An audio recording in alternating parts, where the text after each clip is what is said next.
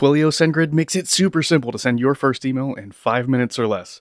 In this video, we're going to show you how it works in PHP, but if you use any of the programming languages appearing on screen right now, there's a helper library to help you out. Let's take a look at how it works. Your app makes a post request to slash mail slash send over in SendGrid, and SendGrid sends an email to your user's inbox.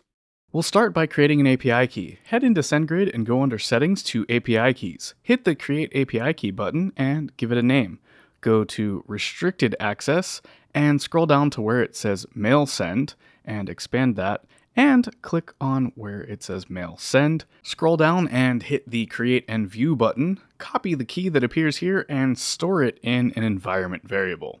Inside of the terminal, I'm going to create a directory for our project called send email PHP and change directories into it.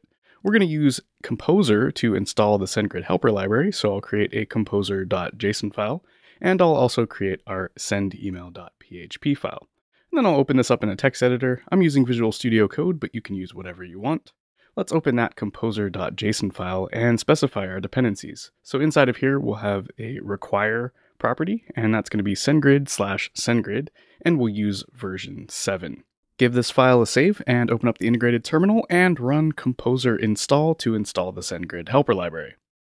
Once that's done, we'll open up the send email PHP file and start writing our code to send the email. We'll require the vendor slash autoload.php file, which will pull in the SendGrid helper library that we just installed with Composer. Then we'll create a email object calling new SendGrid slash mail slash mail. Then we'll use that email object to set the from email address. Now, this is an email address that I've authenticated inside of SendGrid. Details on that down in the description. But that's going to be me at brentschooley.com and set my name to Brent Schooley. Next, we'll set the subject for the email, and that's the subject line, and it's going to say sending with SendGrid is fun. Then we'll set the to email address, and this is another email, just this could be anything that you want to send to. This one's going to be brent from twilio at gmail.com, and it's also me, so I'll set my name to Brent Schooley.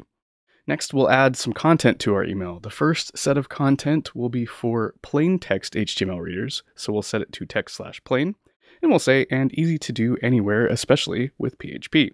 Then we'll set some content for if it's an HTML email client. So we'll set it to text slash HTML, and we'll wrap that same text inside of a strong tag. Next, we'll create a SendGrid object. So that's going to be new SendGrid. And the parameter it takes here is my SendGrid API key, which I have stored in an environment variable called SendGrid underscore API underscore key. Now, inside of a try-catch block, it is the internet after all, we're going to call SendGrid send and pass it the email that we created, and then we'll store the response in a response object. And then we'll log out some details about that response to the command line just to see what happens when we send the email so that we know that it worked correctly. Down in the catch block, just in case anything went wrong, we'll catch the exception that gets thrown by the helper library, and we'll just log that out to the command line as well. Give this file a save, head to your terminal and run php sendemail.php. You'll get the response right away. You can see here it's a 202 accepted from the API, which means our email will get created. If I head over to Gmail at this point, we'll see that my email is indeed in my inbox, and it's wrapped in that strong tag since we're viewing it in HTML, and it came from and went to the right email addresses. That's all there is to it.